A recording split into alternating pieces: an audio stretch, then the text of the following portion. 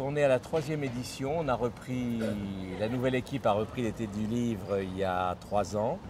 Donc la première année était très difficile parce que c'était dans, le. Hein, la deuxième, on a un peu conforté les. Et la troisième est vraiment une belle édition parce que les invités étaient de très grande qualité. On l'a vu dans les tables rondes, que ce soit celle sur la.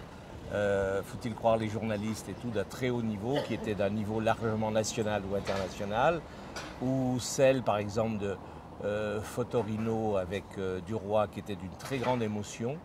Euh, et on a, pu, on a pu là, à ce moment-là, euh, voir que cet été du livre peut être à la fois une manifestation très populaire avec, la, avec toute cette grande galerie d'auteurs là, et aussi une, une, manifestation très pointue au niveau de la proposition qu'on fait dans le, dans le thème de notre identité, journalisme et littérature, et dans le thème de modernité. Et alors, on a vraiment.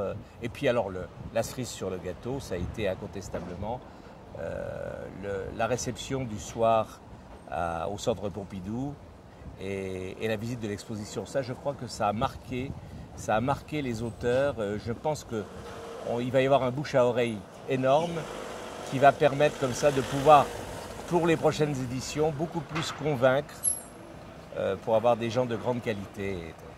Je pense que Metz a changé complètement de, de braquet dans son, festival du livre et dans son été du livre, et c'est bien.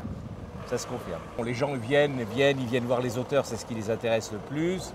Ils discutent avec eux. Moi, j'ai été, très, très, très agréablement surpris de voir que quelqu'un comme Florence Aubenas, qui, qui n'a pas pu venir très longtemps, mais qui a fait une belle prestation à la table ronde, est resté là avec plein de monde qui voulait faire signer euh, son livre. Et elle, avait une gentillesse pour chacun, un sourire, c'était assez extraordinaire parce qu'elle a été quand même bousculée au niveau du, nombre de personnes qui sont venues. Donc on a eu beaucoup d'auteurs très, très ouverts, même chose.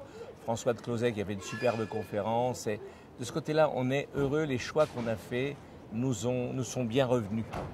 On est, on est content parce qu'on a passé du temps à la préparer, mais cette édition est belle.